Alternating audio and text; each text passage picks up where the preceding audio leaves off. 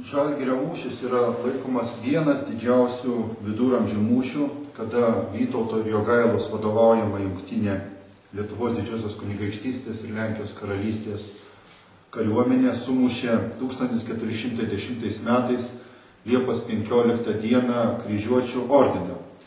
Po šios pergalės buvo nustota grobstyti lietuvių, Lietuvos kunigaikštystės žemės ir sustabdytas kryžiuočių veržimasis į rytus.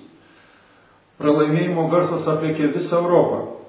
E, jie sužinojo, kad ordinas pralošė mūšį ir pralošė mūšį ne pagonims, o dviem krikščionims valdovams. Ir niekas nebeskubėjo gelbėti ordino ir popiežius nebeskelbė kryžio žygių. Tai tokia yra istorija apie Žalgirio mūšį.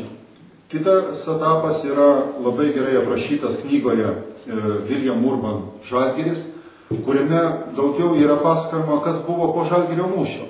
Ir noriu pasakyti, kad labai įdomiai pasakojama, kas susiję su Marienburgo pilim, kurią teko lankyti ir matyti jos galingas sienas ir įtvirtinimus, kad kryžiuočio ordiną išgelbėjo tik tai Marienburgo sienos ir komtūras Henrikas von Plauenas, kadangi Marienburgo, kaip sakant, vyriausias vadas Jungensas žuvo mūšyje, Tai tik tai komtūras Plauenas su savo 3000 vyrų iš Svetės pilies atskubėjęs į Marienburgą, užėmęs gynybinės sienas, pakėlęs kitus vyrus, apsaugojo e, kryžiuočio ordiną nuo e, galutinio žlugimo.